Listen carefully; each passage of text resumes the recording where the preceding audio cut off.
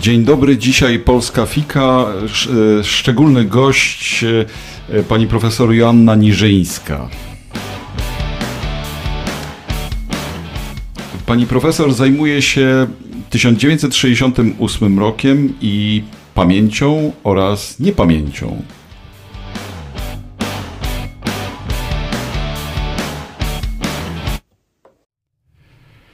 Dzień dobry pani profesor. Dzień dobry. Ja najpierw może przedstawię panią. Jest pani Associate Professor of Polish Literature and Culture na Wydziale Języków Kultur Słowiańskich i Wschodnioeuropejskich, czyli to jest Department of Slavic and East European Languages and Cultures na Indiana University w Bloomington w USA. Jest pani teraz, przebywa pani, to są już ostatnie miesiące pani pobytu, na Fulbrightowskim stypendium, to jest Fulbright US Scholar w roku akademickim 2022-2023 i prowadzi Pani badania w Polskiej Akademii Nauk nad polsko-żydowską pamięcią kulturową po kampanii antysemickiej w 1968 roku. Bardzo się cieszę, bo te sprawy polsko-żydowskich relacji są e, bardzo ostatnio e, istotne e, dla tego, co można byłoby określić E, kulturą współczesnej Polski. No ale najpierw, żeby e, powiedzieć, przybliżyć e, słuchaczom i widzom pani Sylwetkę, ukończyła pani filologię klasyczną, była pani kiedyś niedawno całkiem dyrektorką Polish Studies Center na University of, na, na Indiana University w Bloomington. Wykładała pani na wydziale też slawistyki na Harvardzie. E, zajmuje się Pani studiami nad traumą i pamięcią, globalizacją i zagadnieniami gender. W ogóle słowo gender w języku polskim e, ostatnio, nie wiem czy pani, do Pani to doszło, do Stanów Zjednoczonych, ale słowo gender nie jest też przez wszystkich dobrze widziane, co oczywiście na tym wydziale, na którym jesteśmy, jest e, bardzo mocno uprawiane, ale no właśnie tak to e, wygląda. E, publikowała Pani w Comparative Literature i zdaje się, że komparatystyka kulturowa to jest coś, co Panią w tej chwili zajmuje. E, jest Pani autorką kilku książek, innymi The Kingdom of Insignificance, Miron Białoszewski and the Quotidian, The Traumatic and the Queer.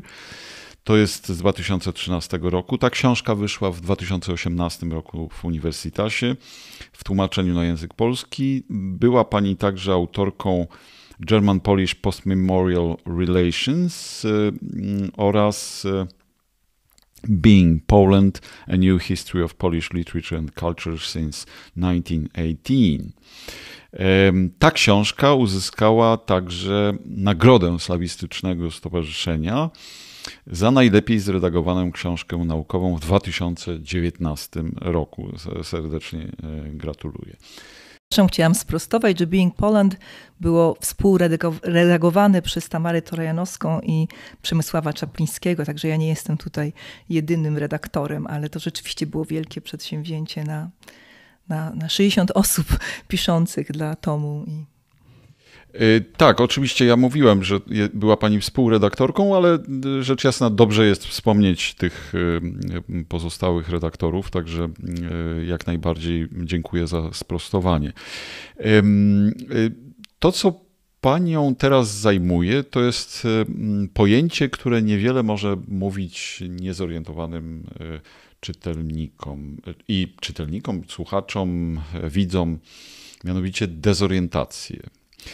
Y, oczywiście orientacja to jest słowo, które kojarzy się y, w oczywisty sposób z geografią, z turystyką, z krajoznawstwem, ale także na przykład orientacją płciową czy seksualną.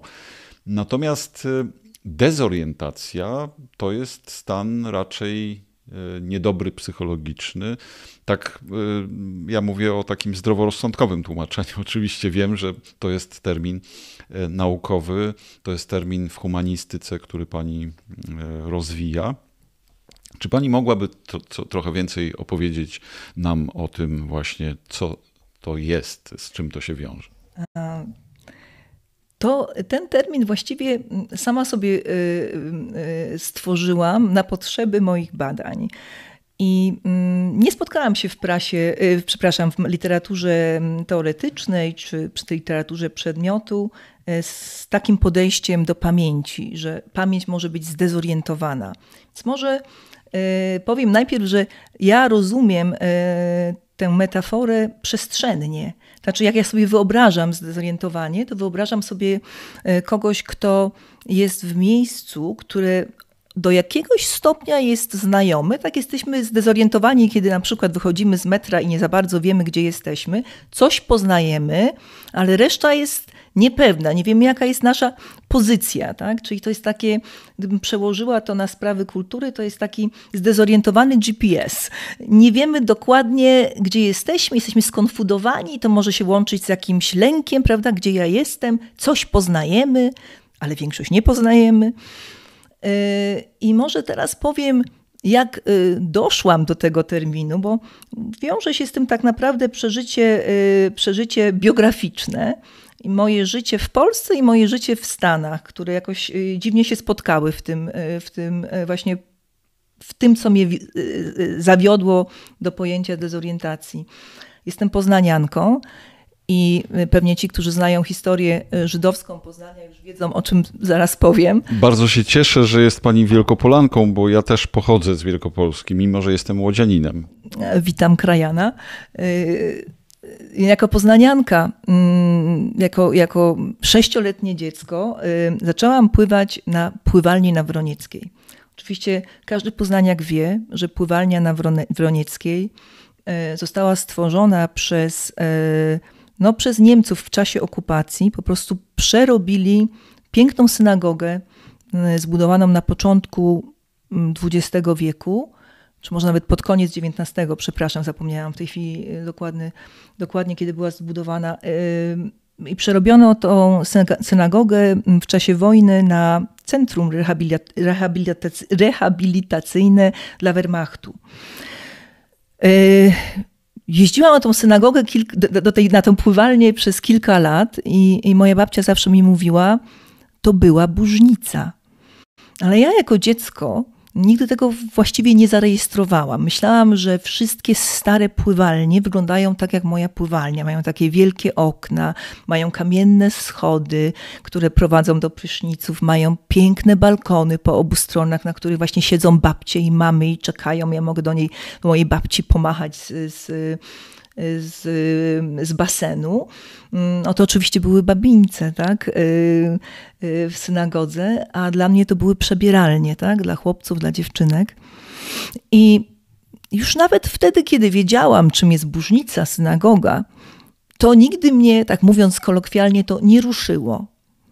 Ruszyło mnie dopiero, kiedy byłam w Stanach i wylądowałam wtedy w Los Angeles, gdzie robiłam doktorat. W Los, Angeles, w Los Angeles jest bardzo duża społeczność żydowska. Od ortodoksyjnych Żydów przez, y, nie wiem, e, zreformowanych do sekularnych. I oczywiście bardzo dużo y, miałam znajomych, przyjaciół, ale również y, profesorów na Uniwersytecie Kalifornijskim, na którym studiowałam w Los Angeles, UCLA. I okazało się, że kiedy chodzi o sprawy żydowskie, jakie, na jakiekolwiek pytania, to mogły być pytania bardzo niewinne, to również mogły być pytania trochę prowokacyjne o transgresje polskie wobec Żydów. Ja nie, ja nie potrafiłam odpowiedzieć. Ja nie miałam żadnych narzędzi w ręku, żeby na te pytania odpowiedzieć. Pamiętam taki moment, jak prowadziłam seminarium z doktorantami e, na Harvardzie, i w pewnym momencie e, to coś właśnie było seminarium zahaczało o sprawy żydowskie. Ja im powiedziałam tak nonszalancko, no bo wiecie, ja pływałam w Słymagodze, w synagodze, która stała się pływalnią. I wie pan, panie Jarosławie, to mi po prostu, to mną wstrząsnęło, jak wypowiedziałam to zdanie. To zdanie, które nigdy było, nie było dla mnie sekretem. Stało się jednocześnie jakimś innym rodzajem wiedzy. Czyli ja coś najpierw wiedziałam, bo to, że to była synagoga, każdy w Poznaniu wiedział, ale tego nie wiedziałam. A jak zrozumiałam to na, na, na poziomie afektywnym, tak? No bo to zaczęło nagle dla mnie znaczyć yy, w takim sensie, że nagle zrozumiałam, że ja pływałam dosłownie w czymś, co było śladem życia i śmierci jednocześnie, tak? Bo, bo była to dawna synagoga, którą, która jakoś łączyła się z życiem poznańskich y, Żydów, a jednocześnie była to pływalnia, która łączyła się ze śmiercią poznańskich Żydów. I to zrozumienie na poziomie afektywnym po dobrych 25 latach, coś, czego, co, co zawsze wiedziałam, stało się dla mnie taką bardzo ważną y, figurą y, myślową, że. Yy, że to jest właściwie taki moment, kiedy ja wchodzę nie w, y, nie w jakiś stan oświecenia, że nagle wiem inaczej, tylko wręcz w coś przeciwnego, właśnie stan zorientowania bo nagle poprzez tą inną ramę poznawczą różnorodności Amerykanów, właśnie bardzo silnego elementu żydowskiego, zwłaszcza w środowisku akademickim yy, i takiego mojego właśnie zafascynowania, nawet mój, mój promotor yy, uczył nas na, na, na hermeneutyce biblijnej, hermeneutyki jako takiej, więc czytałam jakichś cadyków i, i, i rabinów i właściwie na materiale żydowskim yy, uczyłam się podstaw hermeneutyki to, to, to wejście w tą inną ramę poznawczą spowodowało, że ta moja poprzednia rama, którą bardzo tak znaturalizowałam, która była częścią mnie, nagle nie stała się oczywista, nagle nie była już oczywista. I to jest taki moment, wydaje mi się, że który, który może być bardzo płodny krytycznie, może prowadzić do poważnej refleksji. I w moim przypadku tak było. To właściwie prowadziło do wieloletniego procesu, starania się zrozumienia yy, kultury żydowskiej, yy, tych niesamowicie naturalnych, nie, nie, nierozerwalnych więzi yy, Polaków i Żydów. Nawet nie lubię tego rozróżnienia Polacy i Żydzi, no ale powiedzmy dla, dla potrzeb dyskusji, o których ja nie miałam pojęcia. Ja w Poznaniu nigdy nie rozmawiałam z Żydem lub Żydówką. A jeśli rozmawiałam, to o tym nie wiedziałam. A jak ostatnio rozmawiałam z przyjaciółką, e, która jest Żydówką w Warszawie, e, e, to ona mi powiedziała, możliwe, że oni też nie wiedzieli, tak? bo, bo mówiła o tym właśnie wejściu do szafy po 68 roku. No właśnie, a jak od tej dezorientacji z, z, tej boźnicy zamienionej na pływalnię. Takie rzeczy się oczywiście zdarzały w Polsce częściej. Pamiętam, że w Ostrowie Wielkopolskim e, w Boźnicy był magazyn w PRL-u, magazyn meblowy. E, pamiętam, że Kapuściński mówił o, zmianie, o zamianie cerkwi prawosławnej przez komunistyczny rząd e, na pływalnię właśnie też. E, w Imperium o tym pisze. Ale sprawa jest dla mnie ciekawa, jak y, pani doszła do 68 i do postpamięci pamięci 68. E, zaraz wytłumaczę, ale najpierw, e, najpierw taka, taka dygresja, że właśnie to jest ciekawe, że to, co się nazywa tym Jewish Revival, czy takim odrodzeniem za, zainteresowania polskimi Żydami, bardzo często Właściwie powiedziałam, że to był początek, wzięło się z doświadczenia przestrzeni, że ludzie zaczęli czytać te palimpsesty w przestrzeni, czy to był magazyn, czy to była synagoga, słymagoga, czy, czy właśnie, no właśnie, jakieś takie różne miejsca, które przedtem były niezauważane. Nagle ta, ta warstwa pamięci, warstwa czasowa, te nakładające się e, warstwy właśnie historii żydowskiej, potem historii PRL-u de facto, tak? Historii żydowskiej, potem historii okupacji, potem historii PRL-u. E, zaczęły być właśnie odczytywane inaczej. to mi się wydaje takie bardzo naturalne. No, ludzie zaczynają dostrzegać, coś się dzieje w kulturze i przede wszystkim dostrzegają przestrzeń, bo w niej się najczęściej poruszają. Muszę powiedzieć, że bardzo mi interesowało to pojęcie dezorientacji. I tak naprawdę nie wiedziałam, jak to ugryźć. Pomyślałam sobie, że to jest takie moje doświadczenie biograficzne, które zauważyłam w rozmowach z moim pokoleniem, ale nie tylko z moim pokoleniem, z ludźmi młodszymi ode mnie, z ludźmi starszymi trochę też. że łączy nas pewna struktura doświadczenia że osoby, które przyjechały do, do, do Stanów Zjednoczonych, mają, mają osoby, które chcą myśleć i chcą zastanawiać się raczej niż wypierać, bo takie też znam. No dokładnie przechodziły przez ten proces, właśnie takiego, ja to nazywam obudzenie się w dezorientacji, bo to jest taki właściwie moment obudzenia, jest się zdezorientowanym, to oczywiście to zdezorientowanie prowadzi do jakiegoś dłuższego procesu orientowania się, tak? czyli no, konieczności jak gdyby zapoznania się z historią, z kulturą, to, to wiadomo, to, to się dzieje akurat w Stanach bardzo naturalnie, dużo naturalniej niż w Polsce, bo nie ma się abstrakcyjnych Żydów, tylko ma się prawdziwą, bardzo zróżnicowaną e, społeczność, która zadaje często bardzo trudne pytania, bardzo bolesne pytania i która ma też swoje stereotypy na temat e, Polek i Polaków ale ludzie nawet, którzy byli w Polsce, też mieli podobną, powiedziałabym, strukturę tego obudzenia się w zdezorientowanie.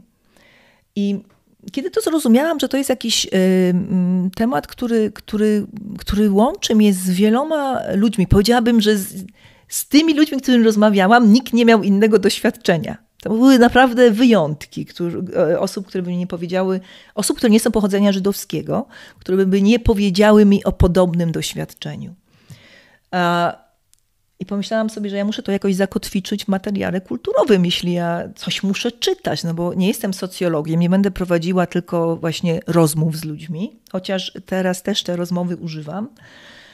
No i tak się akurat złożyło, że w 2018 roku byłam w Warszawie na urlopie naukowym i miałam okazję uczestniczyć w 50. rocznicy Marca 68. No i to po prostu nagle mi otworzyło oczy, że to, co się dzieje podczas obchodów e, w 2018 roku, to jest tak naprawdę, no to naprawdę, przypominało mi jakąś kolektywne przebudzenie się w dezorientacji, przynajmniej młodego pokolenia, bo y, oczywiście to pokolenie i młodsze, i starsze już było zupełnie inaczej przygotowane do odbioru y, marca niż moje pokolenie, kiedy ja w wieku 25 lat znajduję się y, w Stanach ale, y, ale pomimo wszystko tam były takie bardzo dezorientujące i reakcje ludzi, i bardzo, powiedziałabym, dezorientujące nawet y, strategie tekstowe, tak? czyli nawet w tekstach na przykład sztuk teatralnych, które były napisane na, y, na rocznicę, specjalnie na rocznicę, widzimy pewne pomieszanie na przykład poziomów czasowości, tak? że się nakłada zagłada z 68 rokiem, że no właśnie jest takie mm, właściwie y, przerabianie poprzez 68 rok wszelkich spraw bolesnych Polaków i Żydów. Właściwie w tej opowieści bardzo rzadko pojawia się PRL. To mnie też ciekawi, że jest taki przeskok y, z zagłady na 68 rok i potem na 2018 bardzo często w tych tekstach, a nie ma PRL-u. Na przykład chciałam podać taki, taki najprostszy przykład. Wspaniałe przedstawienie zapiski z wygnania, które napisała na podstawie e, powieści Sabiny, a pamiętników Sabiny Baral pod tym samym tytułem. Stworzyły do tego scenariusz Magda Umer i Krystyna Janda. Jest taki monodram Jandy właśnie pod tym tytułem Zapiski z wygnania który nazywam wspaniałym przedstawieniem, ponieważ y, chociaż niektóre rzeczy mi się w nim mogą nie podobać, uważam, że wspaniale on prezentuje y, to doświadczenie 68 marca jako doświadczenie ludzkie, y, właśnie też jednostkowe, opisane w takim taki bardzo przedstawione w bardzo intymny sposób. To jest po prostu monodram, w którym no, mistrzostwo Jandy jako aktorki tam po prostu liśni w każdej minucie, bo ona po prostu mówi do nas i nie ma żadnych innych rekwizytów, mówi. Ale to ten monodram rozpoczyna się motywem muzycznym z listy Schindlera. No, lista Schindlera jednoznacznie, czy sobie, na tym, czy sobie to uświadamiamy, czy nie, bo jakoś podprogowo od razu nas nas prowadzi w stronę zagłady, prawda? I już jak gdyby jest skierowany, y, ta opowieść jest skierowana w jakiejś bezpośredniej pamięci y, z zagładą i z jakimiś toposami zagłady. Oczywiście 68 rok łączy się z zagładą, w, chociażby nie tylko przez sam motyw antysemityzmu, ale również to, to właśnie to było tylko 20 lat wcześniej. Prawda? Nazywane to jest milczącą czy cichą zagładą, tak? Ja znam pojęcie suchego pogromu albo, albo symbolicznego pogromu. W każdym razie na pewno, na pewno chyba to wychodzi z różnych wywiadów i rozmów, e, które no, możemy przeczytać w, w różnych świetnych książkach, że najtrudniejsze w, chyba w tym wszystkim dla ludzi, właśnie pokolenia, które miało dzieci w wieku studentów, którzy przeprowadzali swoją rewoltę, to było to, że to było dopiero 20 lat po zakładzie, zagładzie, więc to była straszliwa retraumatyzacja rodziców, którzy się bali o swoje dzieci, że tutaj nastąpi jakaś spirala y, przemocy. No i właśnie, wracając do dezorientacji. Oglądając te obchody, pomyślałam sobie, ja tutaj mam zaczepienie, ja tutaj mogę pokazać tą dezorientację, właśnie i tekstową, i na poziomie recepcji. Jest w porządku, tak? I na tej podstawie właściwie napisałam mój grant, podanie grantowe do Fulbrighta. No i miałam ogromno, ogromne szczęście, ogromne szczęście, że y, ten grant został przyjęty. I po zakończeniu moich badań nad obchodami rozmawiałam z reżyserami sztuk, tych właśnie stworzonych dla, dla, e, na, na, na potrzeby e, rocznicy. Sprawdziłam recenzje, miałam wspaniałych e, no, takich pomocników w teatrze powszechnym, w teatrze żydowskim. Jestem bardzo wdzięczna zresztą. Mogę nawet wymienić tutaj moich naprawdę, jestem fanami pana Mateusza Węgrzyna z Teatru Powszechnego i, i pana Remigiusza Grzeli z z żydowskiego mi ogromnie pomogli w zbieraniu materiałów. E, dali dostęp do, do, do, do reżyserów i e, do publiczności, żebym zdobyła jakieś właśnie wejście na, na recepcję, tak, tak już bardzo indywidualnie od ludzi, którzy oglądali te spektakle. Właściwie jak już zakończyłam te wszystkie badania, poczułam ogromną dysatysfakcję, że to, to naprawdę jeszcze nie o to chodzi. I zrozumiałam w pewnym momencie, e, że te obchody muszą być tak naprawdę punktem dojścia, a nie wyjścia. A punktem wyjścia muszą być roczniki pomarcowe, do których należę, czyli ludzie, którzy wchodzą w życie, nie pamiętają 68 roku świadomie, czy są dziećmi, czy się rodzą po 68 roku, czy w 68 roku, yy, yy, którzy wchodzą w życie yy, właśnie w tej kulturze po 68 roku, a to jest naprawdę cezura kulturowa. Y, I są tak socjalizowane, są tak socjalizowane, że stają się y, produktem takim ja był, takim jakim ja byłam, gdy pojechałam do Stanów, czyli byłam dobrze wykształconą młodą kobietą po filologii klasycznej w Poznaniu, y, która no, naprawdę nic nie wie, tak? jest naprawdę takim, takim niewinnym podmiotem, no tak została w jakiś sposób socjalizowana, że nie może się w tej społeczności żydowskiej zupełnie znaleźć. Nie wie, nie wie jak, no nie ma jakichkolwiek narzędzi. Ale to był wynik też propagandy PRL-owskiej, która przykrywała różne rzeczy,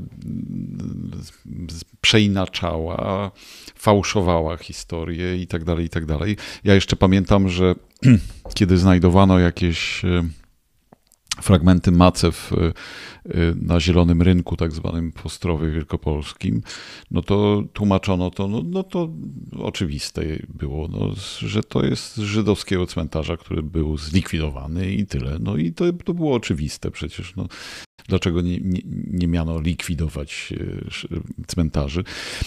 Więc to, to, ale rozumiem, że pani mm, doszła do takiego punktu, pani profesor, że pani zaczęła się zastanawiać nie nad tymi ludźmi, którzy wyjechali wtedy w 1968 roku, tylko nad tymi, którzy pamiętają, nie pamiętają ten wątek. Dokładnie i y, właśnie mm, to, co Pan powiedział, że e, tutaj propaganda będzie odgrywała e, wielką rolę, ale taka miękka propaganda, tak? bo nie mówimy tutaj o jakiejś żelaznej pięści propagandy, tylko mówimy o całej socjalizacji. Mówimy o, przede wszystkim o szkolnictwie, ale również to, co wiedzą rodziny, o czym się mówi, o czym się mówi na ulicy, o czym się mówi w dyskursie takim publicznym.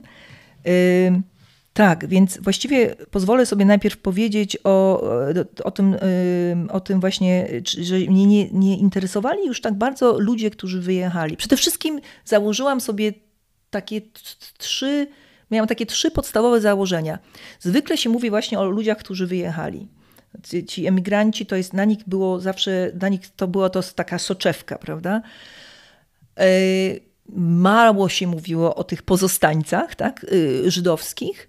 Dopiero teraz y, no, jest tam kilka na przykład wywiadów, czy w Księdze Wyjścia Mikołaja Grynberga i w innych książkach też, ale jednak y, to takie myślenie było przede wszystkim o emigrantach. To przede wszystkim emigranci przyjechali na rocznicę w 2000, 2018 roku. Przepraszam, ciężko mówi mi się, mówi mi się po polsku liczebniki. Tak. Y, jednak nachodzi mi ten angielski i chyba już myślę o wyjeździe, więc już myślę po angielsku. Więc przepraszam za, za te takie nieartykułowanie ładne niektórych słów. Nic nie szkodzi, naprawdę y, bardzo dobrze pani mówi po Dobrze, polsku. no mam nadzieję, mam nadzieję. W y, każdym razie tak, ci, ci emigranci byli ważni, pozostańcy nie, żydowscy, dopiero teraz właściwie zaczyna się, wiem, że, że Piotr Forecki z UAM-u ma jakiś duży grant na historię mówioną pozostańców, więc to myślę, że ta historia mówiona y, i, i ci, którzy zostali, to będzie, to będzie ważny projekt, będzie, będzie jakiś taki zmieniony punkt ciężkości, a mnie zainteresowali ci pozostańcy i żydowscy, i nieżydowscy bo po, pomyślmy, co zrobił, jaką cenzurą był 68 rok dla tych, którzy pozostali. Dla ludzi pochodzenia żydowskiego oznaczało, oznaczało to wejście do szafy. I używam tutaj metafory, które usłyszałam od moich rozmówców. To nie jest mój wymysł, to właśnie ta metafora, którą znamy e, z, z, ze, studiami, ze studiów nad queerem. E, oni weszli do szafy i tożsamość y, żydowska stała się, no, o niej szeptano. Ona wychodzi praktycznie z dyskursu publicznego. To nie jest coś, do czego należy się przyznawać. I pamiętam, jedna z moich rozmówczyń powiedziała mi coś takiego. Y, wiesz, jak ja miałam 16 lat, to kiedyś siedziałyśmy z koleżankami w takim kręgu właśnie dziewczęcym i rozmawiałyśmy o naszych największych sekretach i my tutaj jakieś tam sprawy miłosne czy sprawy rodzinne, a ona do nas, ja muszę wam zdradzić wielki sekret, ja jestem pochodzenia żydowskiego. Więc to było na takiej zasadzie, to jest jednak wielki sekret. Zauważmy, że w latach 90. Y, oczywiście są świadome rodziny żydowskie, ale one jednak są w dużej mniejszości. Dlatego wydaje mi się, że w latach 90. mamy taki, mm, takie wychodzenie, wychodzenie właśnie z tych takich spraw mglistych, jeśli chodzi o rodziny y, żydowskie, jakieś mm, powroty do tej, do tej y, tożsamości. Takim uważam, że bardzo ważnym momentem, czy jakimś takim symbolem tego może być rodzinna historia lęku, tak? Agaty Tuszyńskiej. Y, I takich książek jest oczywiście dużo. A teraz, y, co to oznaczało dla, dla, dla ludności nieżydowskiej, dla tej większości? Dla większości to oznaczało tak. Oczywiście, dla, dla, tak jak podobnie dla żydowskiej, to było zniknięcie instytucji, tak? Kończą się y, y, dotowania z jointu na przykład, y, a to oczywiście komuna to blokuje. Znika, znikają, to już też za sprawą naszych władz komunistycznych, znikają przedszkola żydowskie, licea żydowskie, które były, tak? spółdzielnie żydowskie, jakieś, jakieś kulturalne jakieś tam kółka czy, czy centra których było mało, ale jednak były, czyli jednak można było je w przestrzeni miejskiej zobaczyć znika te, z obiegu, z dyskursu, z obiegu w ogóle słowo Żyd. Jego nie ma, mówi się szeptem, jeśli się mówi. I yy, znikają właśnie te możliwości poznania yy, żydowskiej koleżanki, kolegi, takie naturalne sposoby, kiedy ludzie się jakoś poznawali i, i mogli coś o sobie zrozumieć.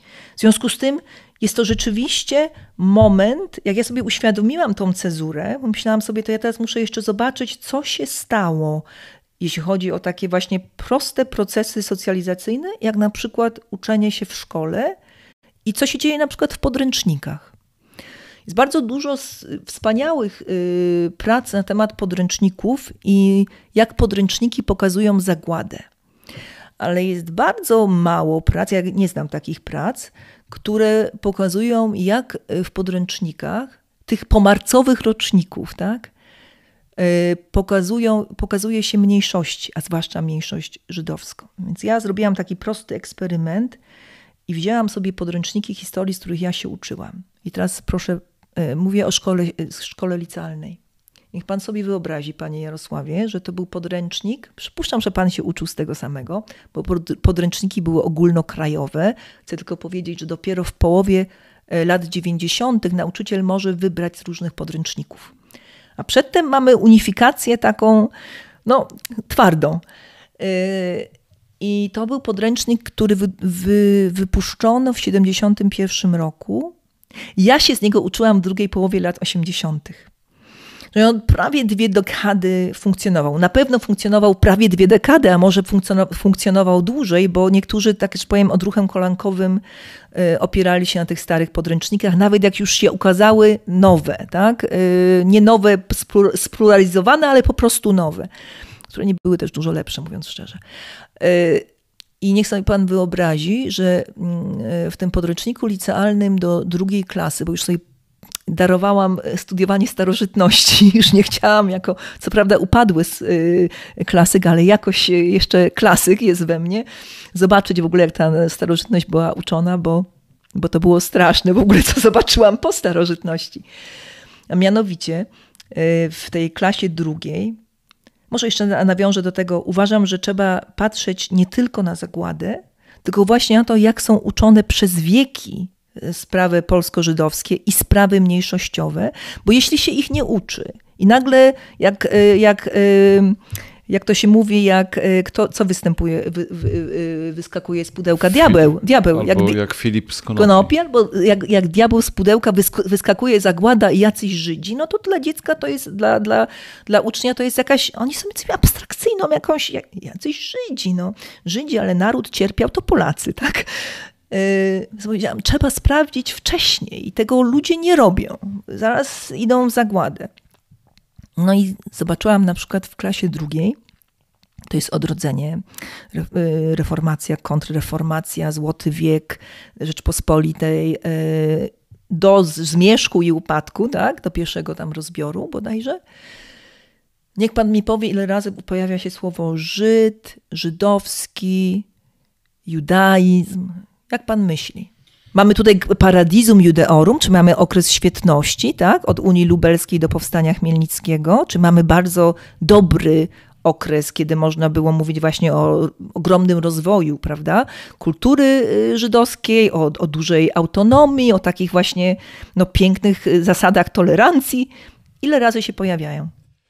Z dzieciństwa mogę powiedzieć, e, ale to ja tego nie badałem, więc, e, ale z tego co pamiętam z dzieciństwa, no to pamiętam, że Żyda się wspominało przy okazji Jankiela, przy okazji romantyzmu, przy okazji Oczywiście nikt nie przebąkiwał nawet wtedy, że Mickiewicz mógł mieć jakieś żydowskie pochodzenie, przynajmniej w części, i to w tej części istotniejszej z punktu widzenia żydowstwa. Ale sprawa jest oczywiście tak, to, to tak samo jak y, no jakby mało w PRL-u w ogóle nie mówiono o tym, że Rzeczpospolita obojga narodów no to była Rzeczpospolita wielu narodów, prawda? I to byli i Białorusini, i e, Rusini, i Ukraińcy, i Litwini, i Żydzi, i Niemcy, i Holendrzy nawet. Także to jest zdecydowanie coś, co, co, co pamiętam. No nie pojawiają się ani razu w jakiejkolwiek formie ale żeby było sprawiedliwe. Nie powiem, e, że podejrzewałem, ale rzeczywiście podejrzewałem. E, nie, nie pojawiają się ani razu, ale muszę też tutaj powiedzieć, że nie pojawiają się sprawiedliwie ani razu, demokratycznie, bo inni się też nie pojawiają. Jedyne mniejszości, które się pojawiają, to e, przy powstaniu Chmielnickiego pojawiają się Ukraińcy, jest 700 na temat powstania Chmielnickiego i pojawiają się głównie Ukraińcy, może dwa czy trzy razy są wspomniani kozacy, czyli to jest takie od razu narodowe, prawda, yy, yy, traktowanie sprawy. No a to przecież był największy pogrom Żydów, powstanie Chmielnickiego przed zagładą. E, to był, to, no różne są szacowania, mówią ludzie, do 40% nawet y, tych społeczności żydowskich zostało wytrzebionych, no strasznie, strasznie potraktowanych. I o tym się nie mówi. Ale podobnie nie mówi się właśnie o Paradizum Judeorum, gdzie można by to wykorzystać właśnie do jakiejś właśnie autoreklamy. Tak jakby wszelkiego rodzaju różnorodność była trochę niebezpieczna. A przy okazji Konstytucji 3 maja tam nie ma nic y, na ten temat? Nic. Nic. No, nic. Przeczytałam, ale nic. E, wie pan, co jeszcze pojawia się? E, przy temacie wojen religijnych na Zachodzie pojawiają się protestanci i, i ortodoksi. No i tylko Ukraińcy. No to jest ciekawe, zwłaszcza w kontekście tego naszego ostatniego zbliżenia z Ukrainą, bo to jednak mało, mało ludzi sobie uświadamia, że Rzeczpospolita obojga narodów polegała między innymi na tym, że jakby w, w takim wianie y, książę litewski wniósł y, y, tej koronie Ukrainy. Y, I w tym sensie jakby myśmy na tym bardzo mocno zyskali, prawda? I sytuacja była taka, o tym Timothy Snyder ostatnio bardzo dużo pisze i, i, i, mówi w wykładach, także to jest bardzo, bardzo ciekawy wątek. Zresztą no, element antysemityzmu jest zarówno w, po polskiej stronie, jak i po ukraińskiej, prawda? Bo przecież to, to, to nie jest przecież tak, że, że to tylko Polacy w. No właśnie. Tak. tutaj Europa, Środkowo, Europa Środkowo-Wschodnia zdecydowanie dobrze jest chyba nazywana przez Timothy Snydera po prostu Bloodlands, czyli skrwawione ziemie. Tak, ale y, wie pan co, jeszcze jest taki problem, że te ja bardzo cenię tę książkę i, to właściwie to, co, co Timothy Snyder mówi, to jest y, jakimś, jakąś iluminacją dla, dla anglosasów, zwłaszcza dla Amerykanów, a dla nas to były już sprawy, no, on o tym mówi wspaniale, tak? to jest wspaniały historyk, ale jakoś znajome, prawda? Więc y, to też tutaj są takie przepaście rozumienia, tak? Y, czym była ta, ta Europa Wschodnia. Ale jeszcze chciałam wrócić do tych podręczników na chwileczkę. Bo wie pan, y, jak doszłam do czwartej klasy, to, bo jeszcze byliśmy w systemie przecież czteroklasowym, a teraz to już znowu dzieci są w systemie czteroklasowym. Już już nie będę mówiła o tej reformie. Jestem z rodziny nauczycielskiej, to lepiej nie mówić. E, w tej, ja to mam nawet tutaj na moim laptopie, nie mamy na to czasu, ale bym panu przeczytała. Zdanie, y, oczywiście nie ma osobnego rozdziału y, o zagładzie, zapomnij. Jest, y, jest rozdział Ludność Polska pod okupacją niemiecką. Y, zdanie, które po, pojawia się, y, pojawiają się Żydzi, są, dosła, są dosłownie trzy zdania. Tak? I oni natychmiast, y, i to są one natychmiast zlane z narodem, tak? Yy, tam zginęło oczywiście 6 milionów obywateli polskich, tam 3 miliony Żydów. Niemcy usiłowali tak nas tutaj wyniszczyć, Polacy mają nie istnieć, tam są nawet, tam, który to był chyba Hans Frank, tak, takie słynne przemówienie, że Słowian trzeba wytrzebić, Polaków trzeba wytrzebić. Trzy zdania. Trzy zdania, czyli ja sobie pomyślałam, jeśli ja y, tak byłam uczona, no ja nie mogę, tej chwili nie pamiętam, y, miałam dosyć surową historyczkę i dobrą historyczkę, może ona nam mówiła więcej, ale ja przypuszczam, że nawet nie mieliśmy czasu, żeby dojechać do tej wojny, y, II wojny światowej i do zagłady, bo przeważnie nie było czasu. I teraz też ludzie, młodzi ludzie, chociaż mają w podstawach programowych y, czasy powojenne, no nie dojeżdżają do 68 roku, a jak już dojeżdżają, to jest tak robione, tak już poślizgiem, że tak powiem, 15 y, minut na lekcji bo, bo, bo nauczyciel jest tak przeładowany tak, y, programem, że po prostu nie ma nawet na to czasu, jeśli ma nawet chęci. Problem tutaj mi się od razu przypomina Auschwitz, y, czyli Oświęcimia, bo kiedyś przecież uczono Oświęcim, y, obóz w Oświęcimiu, a nie w Auschwitz. Y, I pamiętam jak dziś, że ja jako dziecko miałem przekonanie graniczące z pewnością, że w Oświęcimiu ginęli głównie Polacy.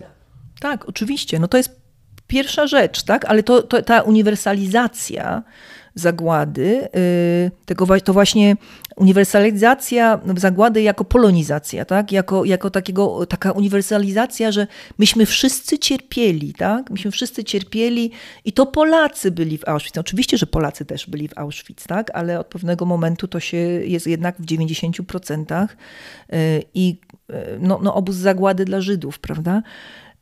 Niech pan, niech pan y, na przykład, y, panie Jarosławie, spojrzy na, na lektury, które, które czytaliśmy. Czytaliśmy Borowskiego, który używa głównie etykiet narodowościowych. Tak? Przyjechali Grecy. Medaliony naukowskie też. Tak, ale właśnie etykiety narodowe, tak? Przyjechali Grecy. On nie mówi przyjechali Żydzi Grecy, tak? Przyjechał transport Greków. Y, jeśli ja jako, jako no właśnie, wychowana w tej ramie narodowej, nie znam kodu Borowskiego. Nikt mi o tym nie mówi, że to jest zakodowane. Ja nie wiem, czy Borowski myślał, że wszyscy to rozumieją, kiedy to pisał. Tego tak naprawdę, naprawdę nie wiem. Y, czy tak po prostu się mówiło, czy y, to pewnie każdy dobry polonista mi powie, ale ja sama tego, do tego nie doszłam jeszcze. Y, to no oczywiście się wpada w taką default position, tak? No, czyli co, co ja znam, no to, to byli wszystko Polacy, tak jak byli Polacy, tak byli Grecy, tak, prawda? Ale więcej, to najwięcej to było Polaków. Podobnie z medalionami. Oczywiście jest nawet fajna książka, y, która y, wyszła w Iblu na temat tego, jak, jak odczytywaliśmy medaliony, jakie one były, jak one, jak one były zamazane.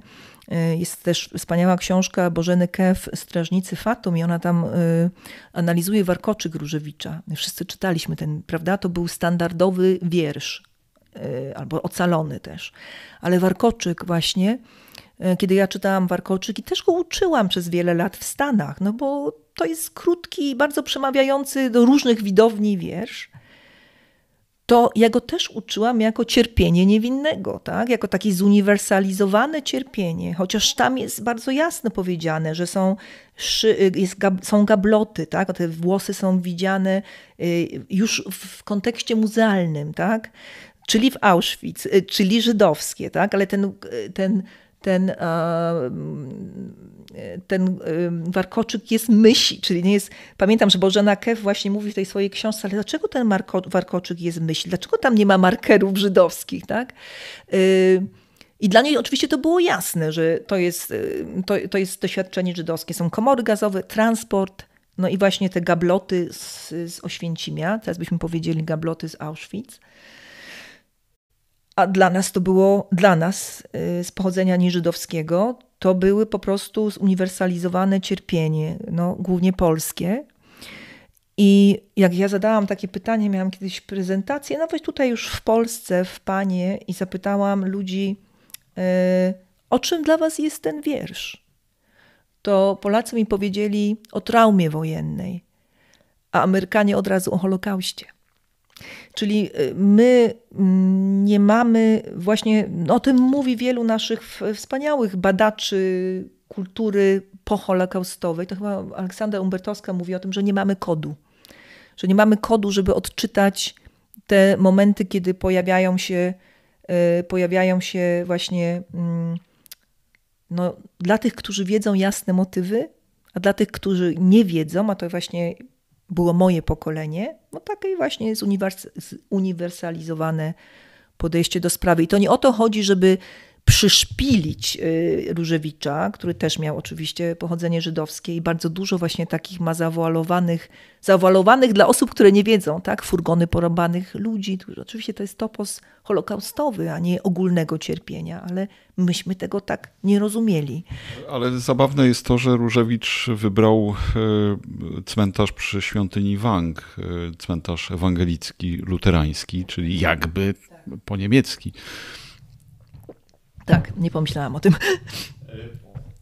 To jest oczywiście y, wątek, który jest y, drugorzędny w tym kontekście, ale y, Różewicz w ten sposób dawał sygnał też w jakimś sensie, że nie chce zupełnie negować jakichś transcendentnych wątków, a z drugiej strony na pewno nie identyfikuje się z głównym nurtem kultury polskiej. To jest dość, dość takie charakterystyczne. Ale a Białoszewski?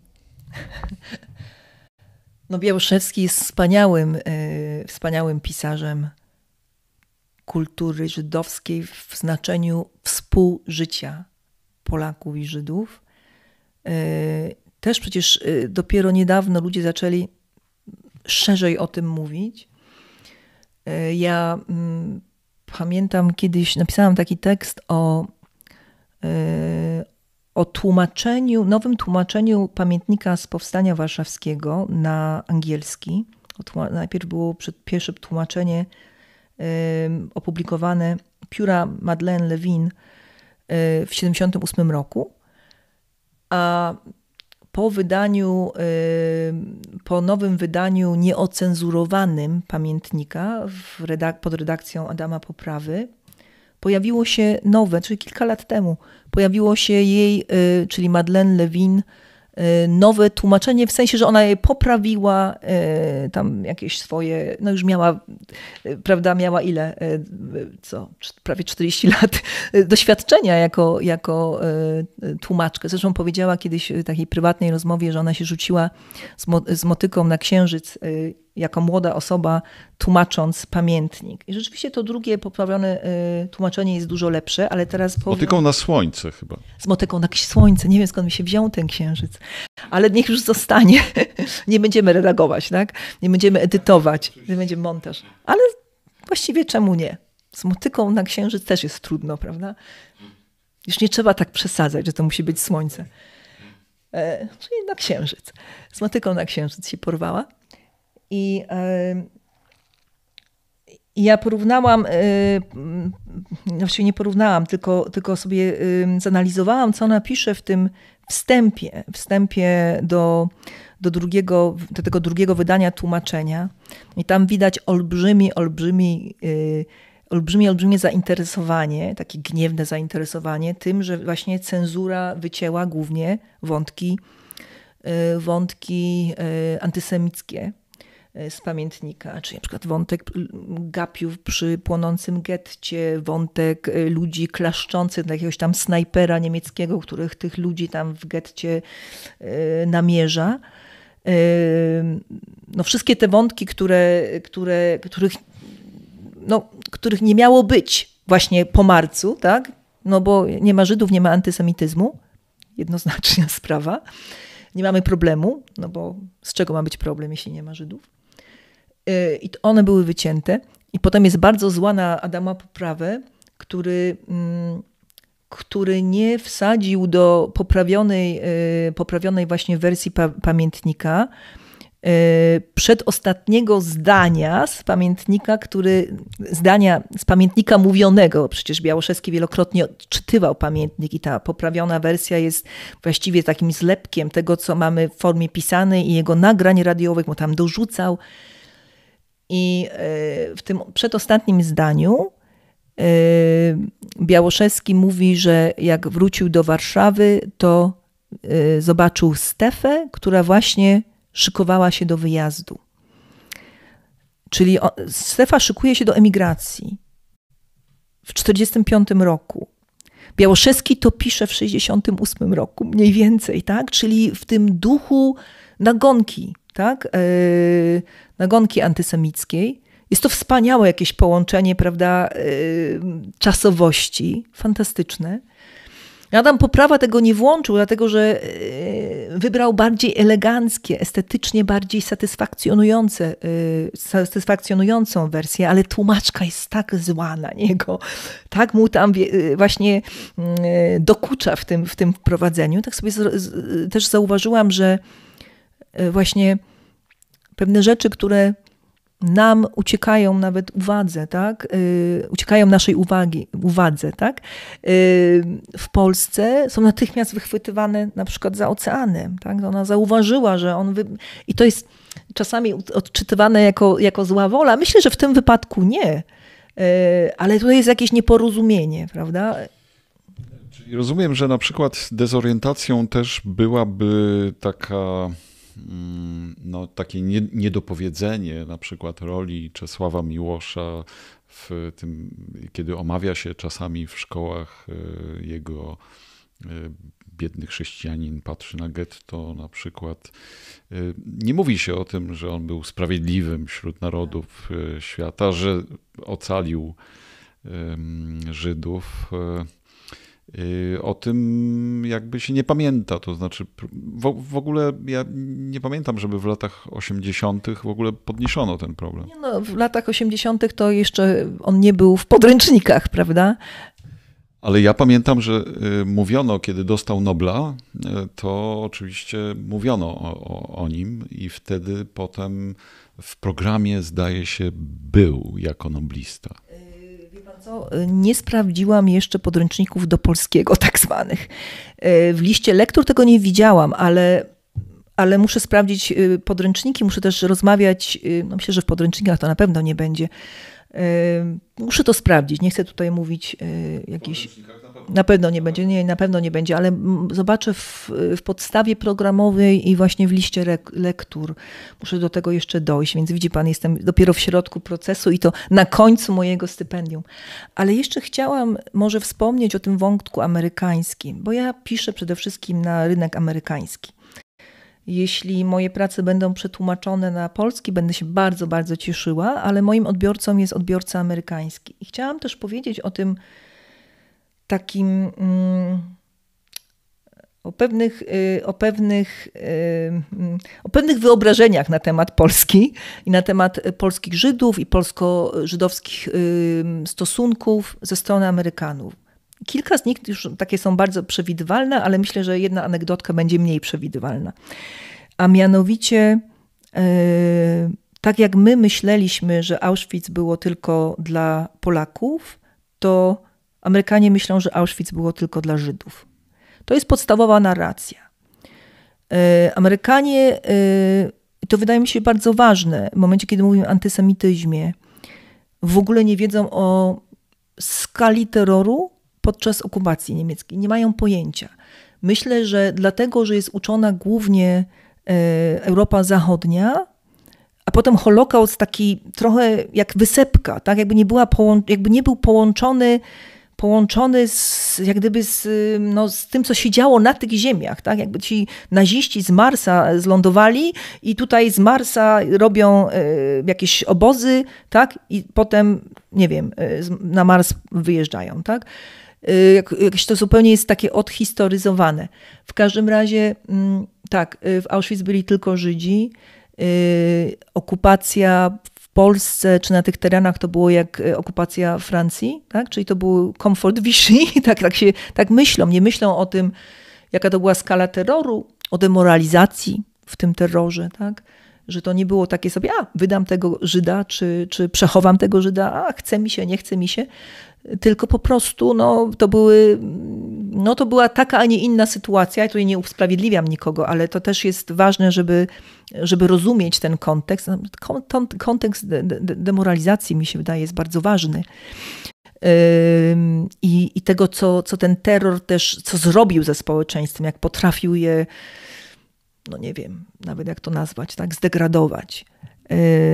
I, i zrobić właśnie, że to stało się możliwe, taka, a nie inna kultura ale to, to jak gdyby wiemy, że takie, takie są stereotypy. E, ale chciałam powiedzieć o taki, taki, e, takim jednym wydarzeniu w moim życiu, które mi otworzyło oczy na jeszcze coś innego.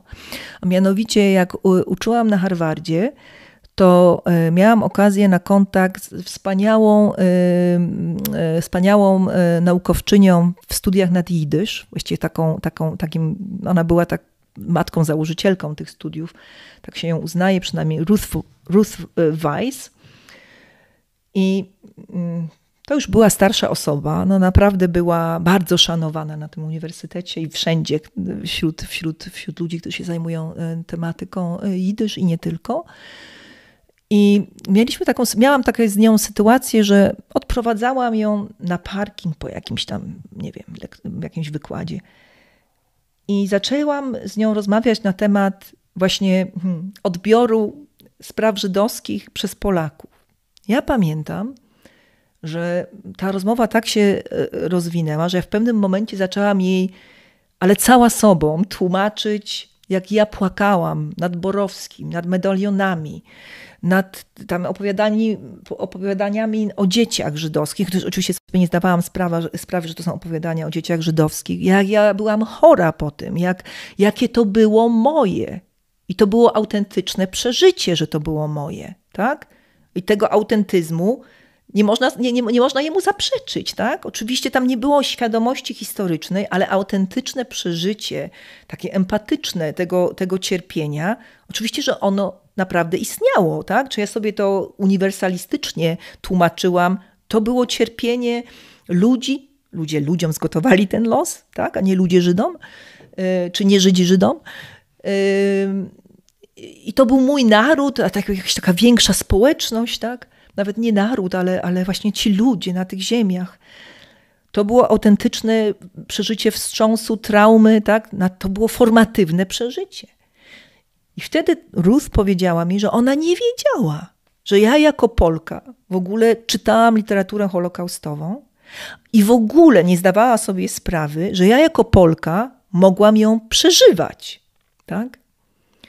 Oczywiście ja ją czytałam jako nie holokaustową, tylko jako wojenną tak? jako tą traumę wojenną, którą, o której mówili ludzie, jak im podałam warkoczyk. Ale to nie było takie, ona myślała, że a, wiedzieliście, że to byli Żydzi i żeście tak po prostu to wypadli, tego nie ma w kulturze, nie ma przeżycia tego. Ja mówię, nie wiedzieliśmy, że to byli Żydzie, ale żeśmy nie wyparli, tak? Tylko wy, nie wyparliśmy tego, tego doświadczenia cierpienia. I teraz jak na przykład e, słyszę w Stanach, że Y, to jest jakieś zawłaszczanie y, tego doświadczenia żydowskiego. Jak, ja jako Polka, jak, jak mogę się poczuwać? Tak? Ja mówię, ja mogę się poczuwać, bo to było prawdziwe doświadczenie. Ja teraz już mam e, oczywiście dużo większą, nieporównywalnie większą świadomość skomplikowań, tak? Właśnie mojej socjalizacji, właśnie tego PRL-u, tej propagandy, tym, kim byłam, ale ja nie pozwolę sobie zaprzeczyć, że ja autentycznie przeżyłam to cierpienie, z którym się identyfikowałam. Tak? Więc y, to było dla mnie, to mi bardzo otworzyło oczy na, na tą sprawę, że bardzo często ten antysemityzm w Polsce jest rozumiany przez, przez Amerykanów i on niewątpliwie istnieje. Tak samo jak, nie, jak, tak samo jak nie istnieje w pewnych kręgach, ale jest zdecydowanie, to, to widać, ja nie będę w ogóle tutaj, pan to widzi, ja to widzę ale y, wydaje mi się, że mm, y, brakuje, i tutaj bym chciała stworzyć inną kategorię, czy antysemityzm i nieantysemityzm, poza tą binarnością. Chciałabym stworzyć właśnie przez tą dezorientację inną kategorię na rozumienie doświadczeń na przykład naszego pokolenia, tych dekad 70., 70., 80., którzy, no, można by nas wziąć za nieuświadomych, anty, nieuświadomych, nieświadomych antysemitów, tak? nie uświadamiają swojego antysemityzmu, tak naprawdę to chodziło o zupełnie coś innego. A zrobiłam sobie taki eksperyment, że y, sprawdziłam w New York Timesie wszystko, co się pisze o, po 89 roku w sprawach żydowskich o Polsce. I tam niektóre są artykuły pochlebne, niektóre bardzo niepochlebne, wychodzi jedwabne oczywiście w pewnym momencie, ale ciągle jest ta binarność. Polacy są albo antysemitami i z nimi walczą ci dobrzy antyantysemici, tak? A tak jakby była tylko zagłada i teraz jest rok, to są lata po 89 roku, już wszystko wiadomo, już są archiwa otwarte, no to możecie teraz być anty, antysemitami, tak? Wobec tego, co było przedtem. Nie ma PRL-u, nie ma tej propagandy, nie ma zupełnie rozumienia tego. Także wydaje mi się, że to może się przydać Amerykanom na jakieś zniuansowanie słownictwa, z którym, o który, które używamy, kiedy mówimy o sprawach polsko-żydowskich i może się przyda Polakom też. E, muszę powiedzieć, że mm, przekonała mnie pani i właściwie dobrze się stało, że pani zakończyła to e, tym samym e, pojęciem dezorientacji, bo wydaje mi się, że jestem już w tej chwili fanem pojęcia dezorientacji, bo sam przeżyłem na własnym, na własnym przykładzie. I to nie tylko w tych y, momentach, kiedy już, o, o, których już mówiliśmy, ale pamiętam na przykład szok, y, kiedy y, w 1994 roku, czyli już po przełomie, wyjechałem do Szwecji na stypendium i odkryłem, że szefem filozofii w Lund jest ktoś, kto się nazywa Włodek Rabinowicz. Potem dowiedziałem się, że pochodzi z 68 roku, z tej fali uchodźczej z Polski, no to był dla mnie dezorientujący moment. Tak, i chciałam tylko powiedzieć, że tu jest takie ciekawe, ciekawe rzeczy się dzieją z tą dezorientacją, bo my właśnie dezorientujemy się, czujemy się zdezorientowani, kiedy wejdziemy w inny układ, tak? Dla Pana to był inny układ poznawczy, a cała kultura, która nas jak gdyby wychowała, tutaj można by oczywiście mówić o dużo bardziej subtelnych rzeczach niż podręczniki i, i, i zestawy lektur, ona nas dezorientowała, tak? Ona zamazywała te różnice, to było takie niby jest, ale nie ma, tak? Czyli ona nas dezorientowała, ale tak sprytnie, że myśmy to przyjęli, nie byliśmy zdezorientowani, byliśmy całkiem, całkiem nam było dobrze, prawda, w tej, w tej ramie narodowej, tak mi się wydaje. A, yy, więc ona nas dezorientowała, produkowała te jednostki, które, które jak wejdą w inną ramę, dopiero poczują zdezorientowanie, tak? Tak, no y, y, oczywiście sprowadzając rzecz do polityki, jesteśmy wytworem moczarowskiej propagandy w pewnym sensie y, i to jest niestety ten, ten wątek przykry, ale z drugiej strony mam nadzieję, że nasi y, widzowie i słuchacze też y, zapamiętają słowo dezorientacja. I długi dzień 68. Długi dzień 68. Profesor Joanna Niżyńska w studiu bardzo dziękuję pani profesor i życzę oczywiście e, udanych ostatnich dni w Polsce, ale także e, dobrych dni w Stanach Zjednoczonych, które są jednym z lepszych przyjaciół Polski, przynajmniej tak również w oficjalnej polityce. Bardzo dziękuję. Bardzo dziękuję za zaproszenie i dziękuję słuchaczom i widzom za oglądanie tego odcinka. Pamiętajcie Państwo, dezorientacja i pani profesor Janna Niżyńska. Wszystkiego dobrego, do zobaczenia, do usłyszenia.